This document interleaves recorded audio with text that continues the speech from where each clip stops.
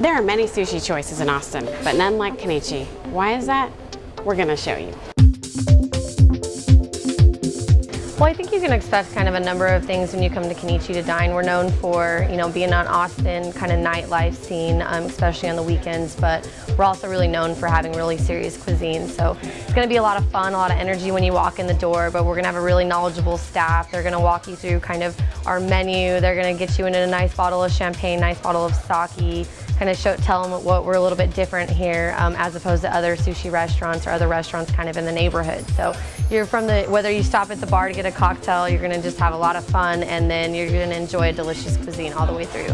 What we have here is the sushi chef's sashimi plate that he's prepared especially for us. So I'm just gonna try a couple of these different items. Mm. Excellent. So everyone knows that Kenichi has great sushi. Tell us about your cook menu. Well, the cook menu is quite extensive as well. Um, like the, like the signs of the, you see on the side of the highway of the, of the, little restaurants that have, you know, fine food, cocktails and seafood and chops and steaks. We have pretty much all that.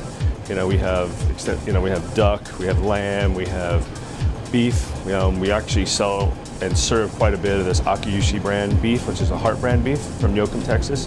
Uh, we do that in multiple preparations. We have a, like a whole strip loin that we serve seared and to temperature like you would order another, any other steak. We also have a rare preparation or a raw preparation where you cook it yourself. Uh, that's one of our most popular. It's seared on the hot rock. Put the butter on the rock a little bit. Should stay. That one's a little hot. A little seasoning. You just kind of want to cook it. You just really, I mean, it's good enough beef to eat raw, yeah, the, the butter gets a little hot. Everything is pretty much chopstick friendly. We make it so people can share it. So that you don't have to have one of these steaks as your, you know, your entire meal. It's made so we can put it at the table and everyone can share it.